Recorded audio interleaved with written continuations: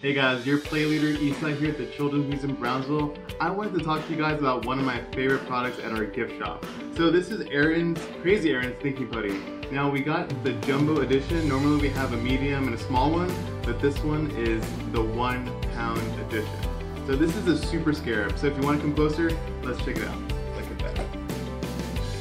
Obviously this is pretty heavy duty. Get it out of here.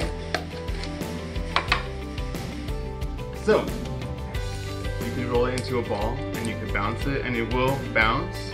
If you want, you can slowly pull it and stretch it like this.